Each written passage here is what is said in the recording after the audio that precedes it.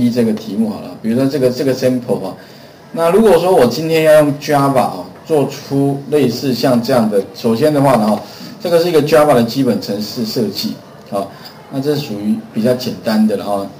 那如果说我今天呢，当然哦，我是先呃用利用这个范例先跟各位讲解 Java，再把这个改成 Enjoy 的 Enjoy 的 App 哈。那一样的东西，实际上你会发现 Java 跟 Enjoy 啊，基本上没有太大的差别哈。那比如说我今天呢，呃，题目要求我们做哪些事情？当然哦，乐透彩应该大家都买过了哈。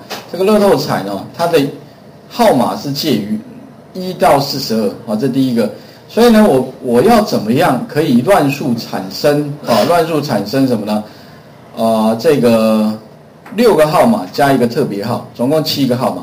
好，所以这边的话，我需要用题目指定的这个，他说，请使用这个或这个类别，也就是这两个类别都可以啊。然后呢，来产生七个号码，而且必须啊用乱数函数集什么呢？阵列。所以这边的话呢，你必须用 Java 里面的阵列来设计一个什么呢？模拟这个什么呢？乐透彩的开奖程式。好，那总共七个号码，六个号码加一个特别号。好。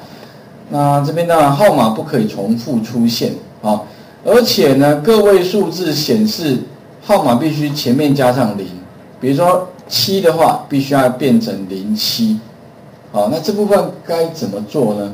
啊，如果用那个 Java 来撰写程式呢，要从哪边开始？那首先的话，第一个啊，当然我们要建立一个 Java 的类别，好，那上个礼拜呢，哈。呃，我们有教各位建立那个 Java，哦，那当然我是先用 Hello World 开始哦。